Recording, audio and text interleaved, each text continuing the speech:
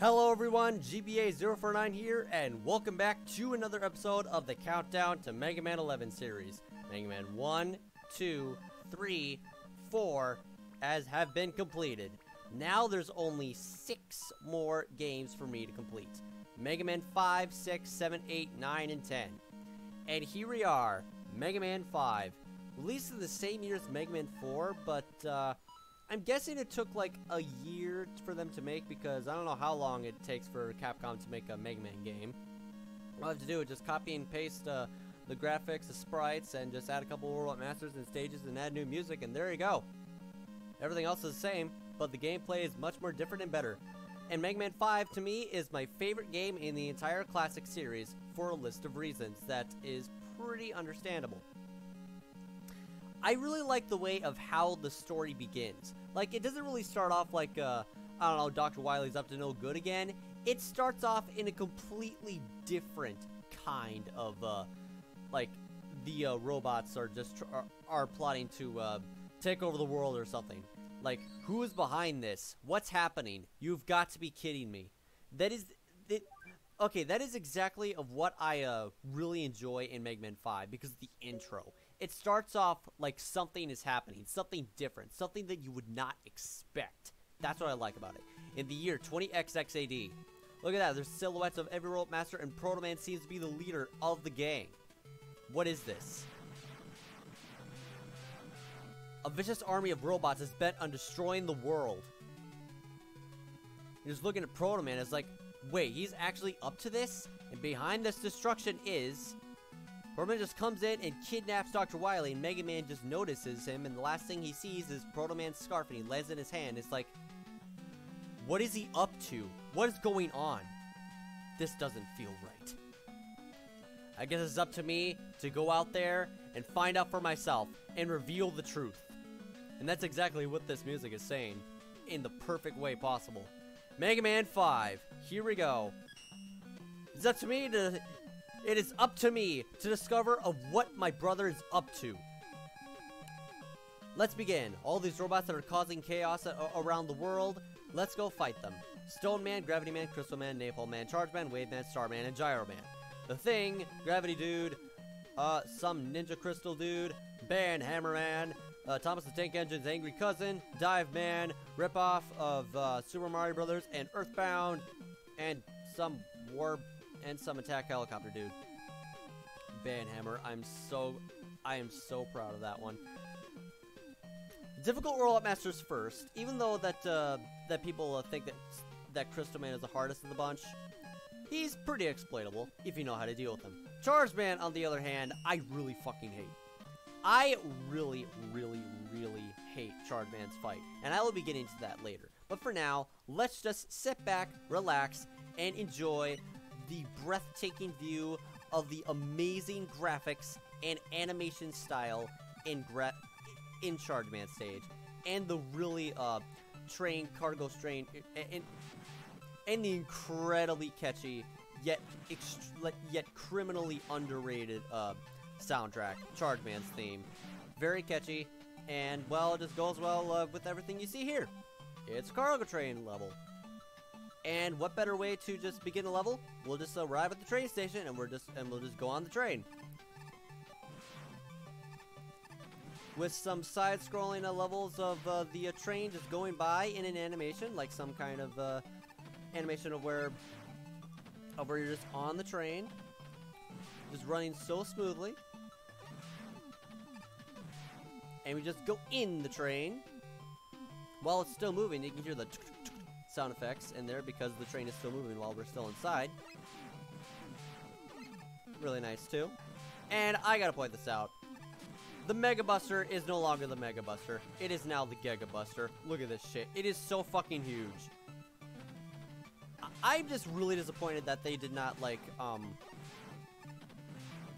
They did not, uh, keep it the way it was uh, in the uh, other uh, Mega Man games. Because the the Mega Buster in Mega Man 5 is really eye candy, and I love looking at it.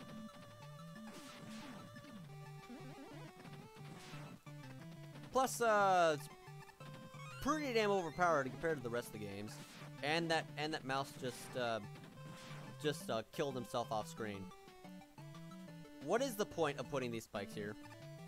Seriously, what is the fucking point of putting these spikes here? You'd have to be really fucking stupid enough to actually die on this pit of spikes. Because what's on the other side? Absolutely nothing. Death. That's it. Moving on. I haven't even taken a single hit yet. Don't want to get cocky.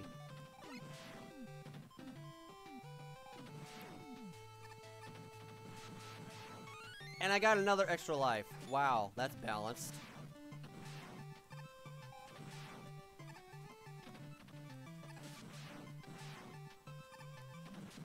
And there we go.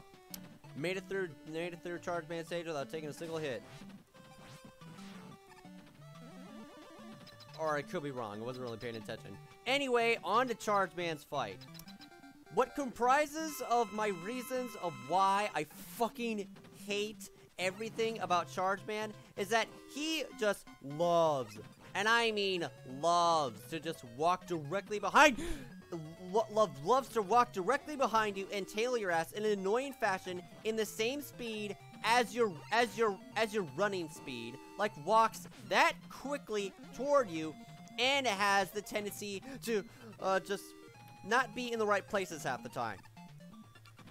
It's really hard to freaking it's really hard to avoid him because uh, the patterns of his uh, of his coal barrage move uh, appear in random directions so uh, if you get cornered by Charge Man, if and if those uh, and if and if a little bit of those uh, parts of coal are like are, are, are about to fall above you while you're cornered, you're going to take a hit. So be careful. And I cannot believe I just avoided that. Holy crap, that was actually pretty damn smooth. Another thing, it's really hard to predict him. Like you, like you can see him, uh, like use his, uh, Coal Barrage uh, attack pretty easily because he turns red, but when it comes to uh, predicting of whether he's going to charge after you, it it, it it, it always catches me completely by surprise, and I always just die by him. And I almost did, but I was just I, I was just I was just showing you his fight. Nothing more. Anyway, and if you really expect me to uh, say, oh yeah, okay, okay, I take back what I said. Only the fight I dislike about Chargeman. Everything else is great, even his weapon. The weapon that uh, Chargeman uses is pretty damn useful and also very fun. We're going after Stone Man next. We're going after Stone Man next, and I'm going to show you just how useful the charge kick can be.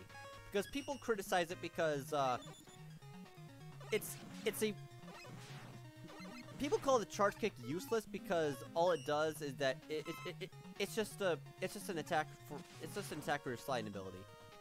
Well, look what I just did. You see those uh, little Mets that like to split into three baby Mets uh, when you shoot them with Mega Buster? Use a charge kick, they get killed instantly. The charge kick is not useless. Same thing goes for every other Mega Man weapon uh, in the roster. You always have to find a specific use for it, no matter what. And that's the beauty of it. Well, the thing is, is that uh, there's a little bit of there's a little bit of a downside when it comes to using the charge kick as a weapon. It can only be used uh, to take care of enemies that are weak against it, and uh, only for and only for enemies that are on the ground. Since you can't use your uh, Mega Buster or any other weapon, you're just stick Oh, you're just stuck with sliding with it. But do I have a problem with that? No. It's a, it's a fun weapon. I love using it. That guy got a really freaking amazing buff in uh, in a Mega Maker. Because you can actually use it in the air now. It takes a bit of timing, but it's still pretty awesome. That was just a flick. I didn't mean to do that. Another thing I like about it, you're rendered invincible. You're rendered invincible when you have the charge kick equipped. Just gonna go... Gotta be careful. Almost out of weapon energy. Don't want to end up. Don't want. Don't want to end up wasting it. Oh yeah, another issue that uh, that people have with Mega Man 5. The weapons. Well, well, obviously the weapons. People have uh, like a bit of a criticism when it comes to using the weapons of Mega Man 5 because they're either useless or they or they barely have any use at all. That's because they just don't ever use them because they don't like they, they just don't like the way it's uh, supposed to be programmed or or how it's used. Here's my tip: get good. That's a, that that's all that needs to be said for me. If you don't know how to use a weapon, figure it out yourself. Or just uh, call me stupid and just uh, and just decide to use a Mega Buster because uh, this because the Mega Buster in Mega Man 5 is really freaking broken. Another tip: these enemies are not fully protected by their shield. You can just pierce through them like lickety split, no problem. Pretty, just you, can just rip them off straight clean, really nice. Boop. Boop. Oh, time to use the charge kick. Wait for it. Haha, it's real. It's really fun. Yeet. Oh yeah, I forgot. The the uh. Okay, how in the hell should I explain this? Apparently, using the charge kick on those uh, on those gun enemies uh, can be uh, killed in one shot. So there's another use for it. Hold on, I'll be right back. Yeah, sorry about that. I just got a phone call from uh, my mother telling me to just turn on the air in the house. I'm home alone. Well, anyway, as I was saying, yeah, you can just uh, use the uh, charge kick to take care of those uh, those shield attacker enemies pretty damn easily. Because again, the charge kick is not useless. Stop criticizing every weapon just because you don't know how the fuck to use them properly. Not my problem, it's yours. And how in the hell am I getting so many fucking extra lives? Jeez, that's a bit unbalanced, game. I mean, I get that this game is a little bit easy in difficulty. I mean, not the kind of game where I just criticize its, uh, its difficulty for being easy on, like, X4, but I have my reasons for that, and I will gladly be getting into those reasons in further fucking detail by the time when I eventually begin to play the uh, countdown to, uh, or, or actually just, or, or, just Mega Man X, X, Mega Man X Marathon when I get the, uh, when I get the, when I get the Legacy Collection for Mega Man X. But Mega Man 5, it's alright. It still manages to stay difficult, as a Mega Man game should, and even though that it's easy, it's still really fun. I mean, really. How many times have uh, people, uh, uh, I, I, can replicate how many times I've died in, uh, in, in, playing this game along with every, every other Mega Man game, but Mega Man X4, it was effortless, and I'll be getting to those reasons in the near future. Speaking of effortless, here's Stone Man. This is like, uh, beta test Block Man, but worse. The higher he jumps, he just... Okay, when he jumps high, he just crashes into a million pieces, and he's invulnerable while he's in a pile of debris. And his Power Stone is useless. Does not do any sort of threat whatsoever.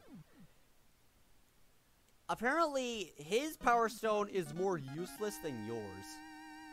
That's a little bit unfortunate if I had to, if, if, if we're being honest here.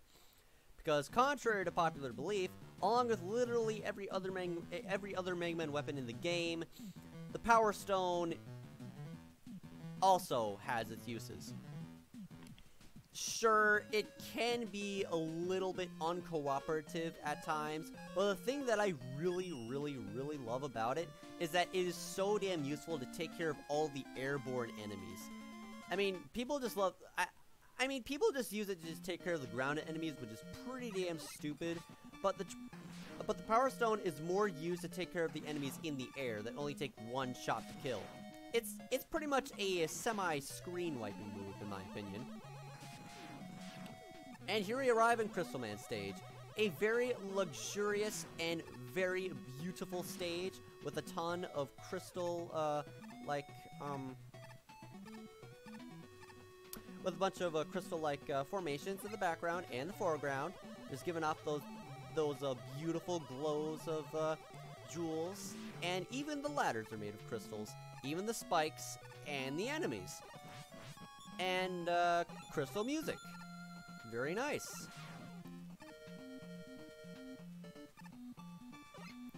Be careful here. Whoa!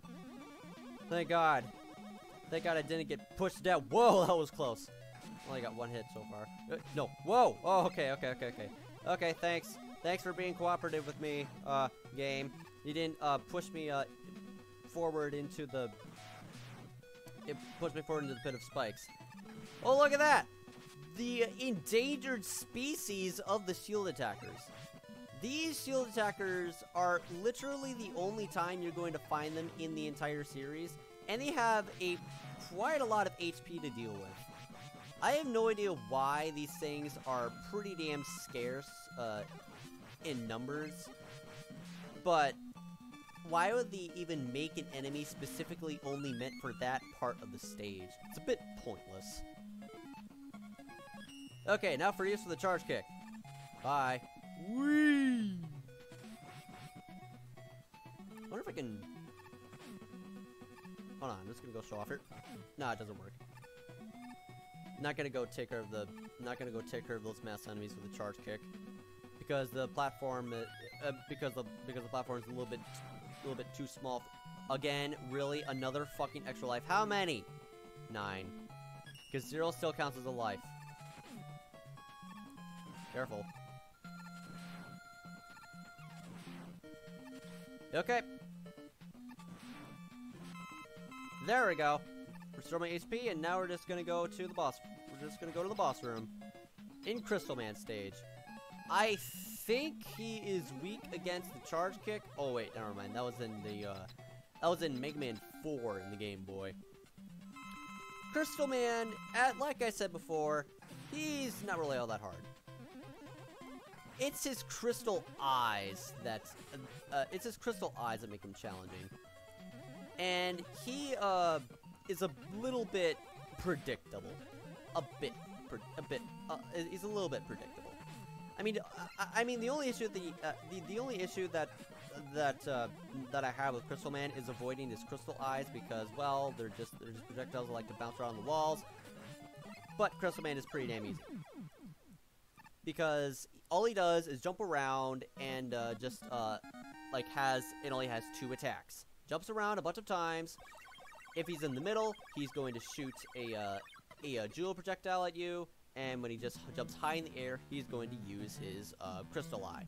And speaking of crystal eye, uh, even though that the uh, name is pretty damn badass, um, I I try to like utilize it uh, the way I the way I wanted to, along with every other Mega Man weapon. The Crystal Eye, again, is is another one of those uh, iffy moments when it comes to uh, versatility, but uh, it's not really all that great. I mean, I do have uses for it. It's good for uh, taking care of uh, the airborne enemies a little bit, and for enemies that are weak against it, like those uh, little spherical like enemies that that just travel directly toward you are. And, uh, and their faces are always hidden. Like, inside, like, inside metal pieces and they don't really show their eyes until they move forward. Yeah, those enemies, they're weak against it, but uh, other than that, I don't really have anything else uh, to, to, use them for it. Another issue that I have uh, with the Crystal Eye is the fact that uh, is the fact that two projectiles bounce directly uh, diagonal, and the other one just bounce back, bounces back and forth and does not do jack shit to hit anything. It's pretty damn useless.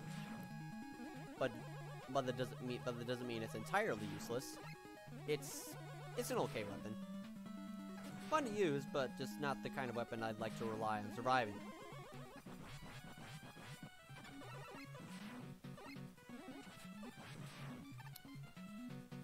Just gonna go, over here. We'll grab that M letter.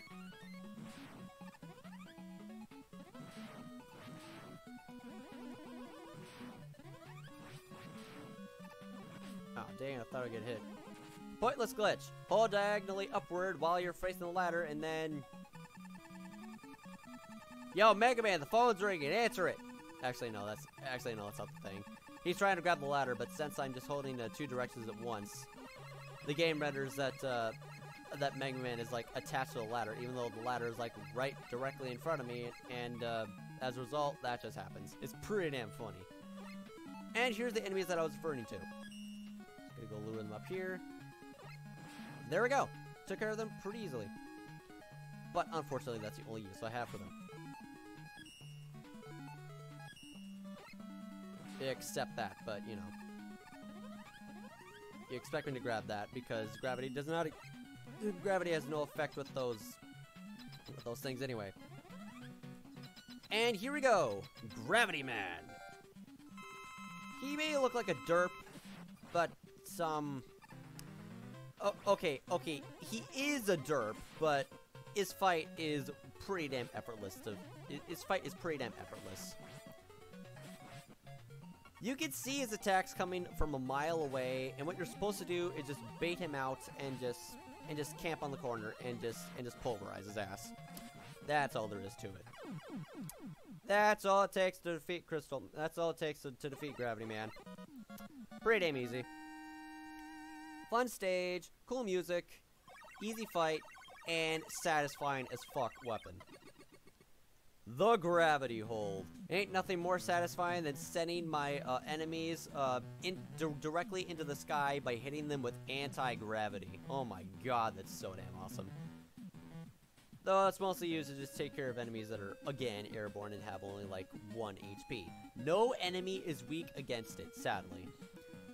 But the thing is that no enemy is weak against it. If it has like a 1 HP, okay, like one health point, they'll just go away. But if they have three health points, uh, you just need to use it three times until you can send them in the air. But you can use it to take care of the big enemies, and I'll be showing that later. But anyway, that's all I had to show in this episode of Mega Man 5, and I will be gladly seeing you into the, and I'll be gladly seeing you in the next episode. So hope you enjoyed this. So hope you enjoyed this episode, and I'll see you later. This is GBA 049, signing out, going offline. See you next mission, Mega Man for life!